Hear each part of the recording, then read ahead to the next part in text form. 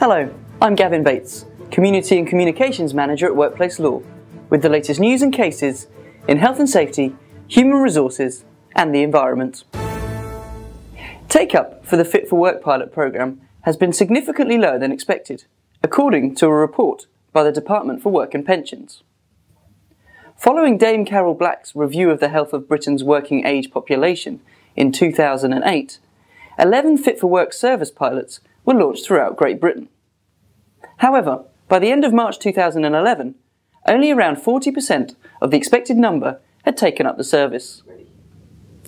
Two companies have been fined after a demolition worker was engulfed in flames when he cut through a live 11,000 volt cable at an electricity substation.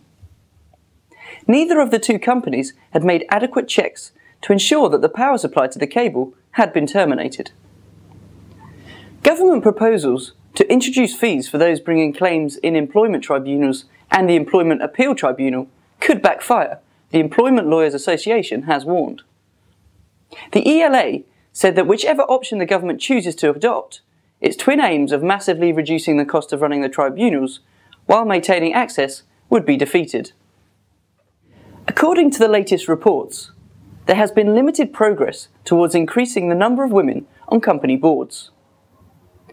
Just one in seven board members at Europe's top firms is a woman, according to the European Commission, which has launched a public consultation seeking views on possible EU action.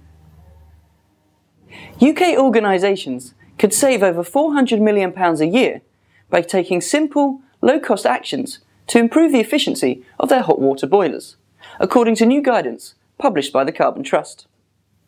The guidance outlines how organisations can make immediate energy savings through better maintenance and low cost improvements. And finally, Workplace Law has entered a team in this year's London to Cambridge bike ride, which takes place on Sunday the 22nd of July. If you would like to join us for the ride or would like more information, then please email Parani Siva or call her on 01 223 431 073.